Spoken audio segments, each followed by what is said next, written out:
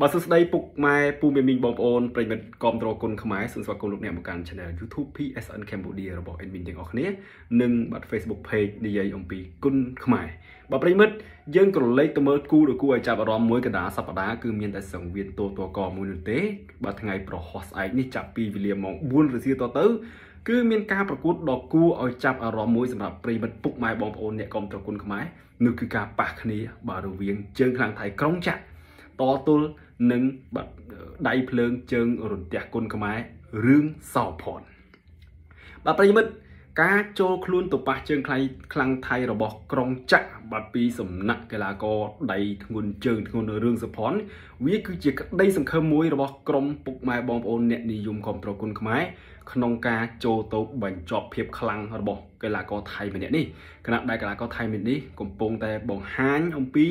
បាត់ភាព ខ្លាំងក្លារបស់គេមួយរយៈចុងក្រោយមិនដែលស្គាល់ចាញ់នោះទេក្នុងការជួបកីឡាករលំដាប់កំពូលកំពូលរបស់កម្ពុជាដូចជាការយកឈ្នះលើថៃរទ្ធីពីរប្រកួតជាប់គ្នា បាត់ហើយគេយកឈ្នះលើវងវិឆ័យស្មើពិន្ទុជាមួយនឹងធឿនធីរ៉ាដូច្នេះការប្រឈមមុខជាមួយនឹងកីឡាករខ្លាំងខ្លាំងរបស់កម្ពុជាល្បីល្បីពេញនិយមបាត់ប្រមាណប្រកួតចុងក្រោយគេមិនតន់ស្គាល់ភាពថាចាញ់នៅឡើយនោះទេដូច្នេះស្អែកនេះចាប់ពីវេលាម៉ោង4រសៀលតទៅ យើងមានតែរងចាំមើលថាតើដៃភ្លើងជើងរន្ទះរឿងសុផុនដែលកំពុងតែបើកដំណើរការក្លឹបផ្ទាល់ខ្លួនរបស់ខ្លួនផងនោះមានសមត្ថភាពនៅក្នុងការបញ្ឈប់ភាពខ្លាំងរបស់កីឡាកររំលងដែនថៃម្នាក់នេះឬក៏អត់បើសម្រាប់កីឡាករក្រុងចាក់គេបានបង្ហាញជំនឿចិត្តច្រើនទោះបីជាដឹងថារឿងសុផុនជាកីឡាករខ្លាំងប៉ុន្តែគេជឿជាក់ ដាក់ក្តីរំពឹងរហូតដល់80%ឯណោះបាទនៅក្នុងការស្វែងរកជ័យជំនះទៅលើកីឡាករលំដាប់លេខ1របស់កម្ពុជារឿងសុផុនតើការជួបក្រុងចាក់រឿងសុផុននឹងជួបការលំបាកអ្វីខ្លះប្រិមិត្តរឿងសុផុនគឺជាកីឡាករម្នាក់ដែលមានផ្លែអាវុធឆ្វេងរបស់គាត់ទាំងដៃនិងជើងធ្ងន់ធ្ងន់ល្អរឿងសុផុនអ្វីត្បិតថាគឺជាកីឡាករមួយរូបដែល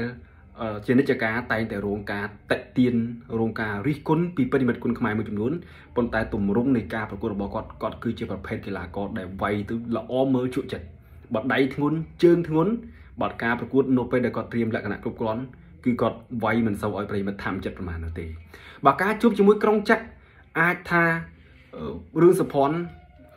ត្រូវបានគេមើលឃើញថាប្រឈមនឹងភាពលំបាកមួយចំនួនដោយសារតែកីឡាករថៃម្នាក់នេះបាត់តាមរយៈ បទពិសោធន៍នៃការប្រកួតជាមួយនឹងកីឡាករកម្ពុជាកន្លងមកគេគឺជាកីឡាករដែល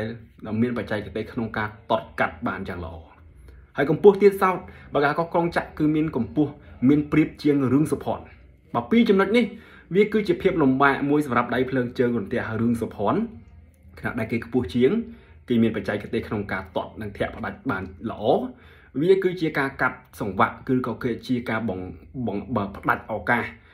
សម្រាប់រឿងសុផនដែលទៀមទាននៅការចូលគៀកដើម្បីប្រើអាវុធរបស់គាត់ជាចម្បងនោះគឺការបាត់វាយចេញនៅកំដាប់ដៃធ្ងន់ធ្ងន់ជាពិសេសគឺដៃឆ្វេងដែលពេលពោពេញទៅដោយទម្ងន់ដូច្នេះប្រសិនបើកីឡាករថៃគេសិក្សាពីរឿងសុផនបានច្រើនគេព្យាយាមតតកាត់ហើយនឹងធាក់កាត់វាជាផលលំបាកមួយសម្រាប់រឿងសុផនបាទប្រិមិត្តយើងធៀបជាមួយនឹងកីឡាករកម្ពុជាបាទចំនួន 2 3នាក់កន្លងមកដូចជាវងវិឆ័យធឿនធីរ៉ាហើយនិងបាទធុនរិទ្ធីជាដើមបាទសម្រាប់រឿងសុផុនជាការយល់ឃើញផ្ទាល់ខ្លួនរបស់ខ្ញុំគាត់គឺជាកីឡាករជើងចាស់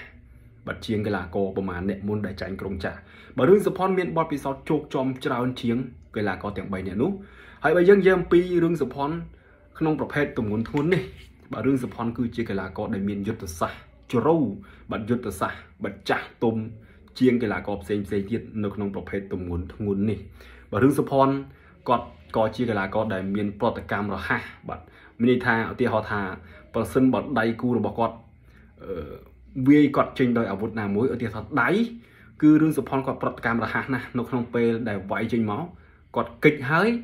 គឺគាត់ប្រតិកម្មរហ័សគាត់អាចចេញដៃទៅវិញបាទគឺចំគោលដៅច្រើនឬសុផុនតែងតែ មិនចោលឱកាសនោះទេនៅក្នុងពេលដែលដៃគូវាយអាវុធណាមួយមកលើគាត់គាត់តែងតែព្យាយាមបាត់ប្រើដៃរបស់គាត់ឆ្មក់ទៅ